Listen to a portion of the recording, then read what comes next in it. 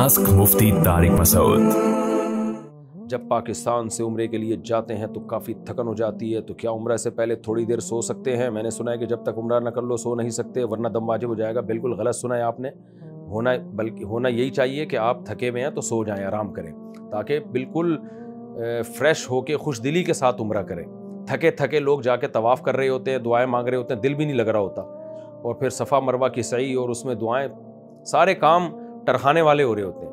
تو احرام جتنا لمبا ہوگا، اللہ کو احرام کی حالت میں اتنا زیادہ حاجی سے اور عمرہ کرنے والے سے محبت ہوتی ہے۔ تو احرام کو تو لمبا کھینچنا چاہیے۔ آپ احرام کی حالت میں گئے ہو تو آپ اسی احرام میں سو جاؤ۔ ہاں منہ پہ چادر نہ ڈالیں کیونکہ منہ چھپانا جائز نہیں ہے احرام کی حالت میں۔ تو چہرہ کھول کے آپ سو جائیں۔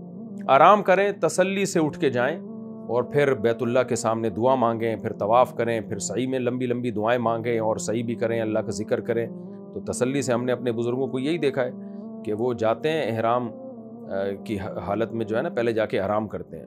فرض نماز کا ٹائم ہو تو مسجد حرام میں نماز پڑھتے ہیں اور اگر جماعت کھڑی ہوئی ہو اور پھر نماز کے بعد آ کے آرام کرتے ہیں۔ تو تسلی ہوتی ہے، بالکل فریش ہو جاتے ہیں، پھر جا کے تسلی سے تسلی سے لمبا عمرہ کرتے ہیں وہ۔ آج کل لوگ ٹرہانے والا کام کر رہے ہوتے ہیں، بس احرام اتارو جی۔